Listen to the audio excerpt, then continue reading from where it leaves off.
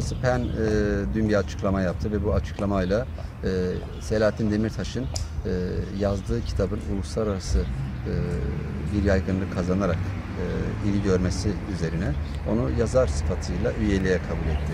E, Uluslararası PEN üyeliğe kabul ederken bunu e, belli merkez üzer- üzerinden yapar. E, özellikle Almanya PEN Merkezi, Meksika PEN Merkezi, Katalan PEN Merkezi gibi e, PEN birimleri Selahattin Demirtaş'ı e, onur üyeliğine e, kabul ettiler. E, bununla ilgili mektuplar yazdılar ve bu dün resmi olarak açıklandı. E, Selahattin Demirtaş'ın bir siyasetçi olmanın yanı sıra e, sanata olan ilgisi ve sanatsal üretimleriyle de hem Türkiye'de hem yurt dışında e, tanındığını biliyoruz. Ve yazdığı kitabı Seher aynı anda ondan fazla ülkede yayınlanacak gibi görünüyor. Şu anda çeviriler çoğunda bitmiş durumda.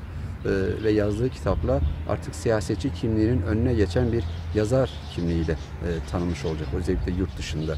Ee, bunun önemli olduğunu düşünüyoruz. Cezaevine giren insanlar tükenir mi, biter mi? Belki iktidarların amacı budur.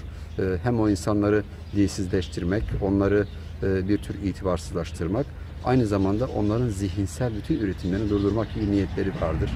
Ee, Ama Selahattin Demirtaş örneğinde gördüğümüz gibi ki tarihimizde son 200 yılda biz bunu çok fazlasıyla gördük. İnsan her yerde yazabilir. İçerideyken belki de daha çok yazar.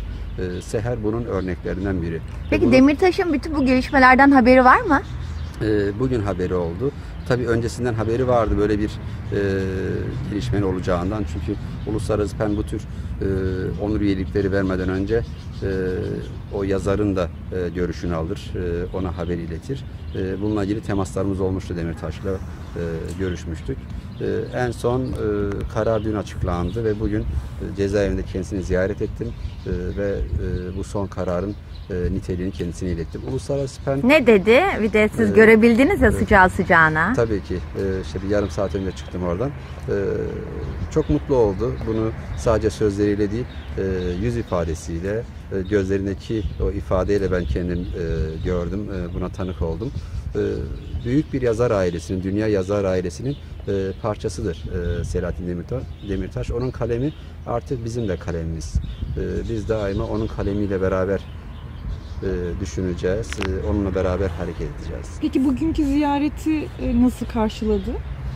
Yani buraya e, insanların gelmesi. Bugün e, 40'tan fazla e, yazar gazeteci olarak e, Edirne'ye geldik. E, Tabii ki bunların hepsinin girişine izin verilmedi.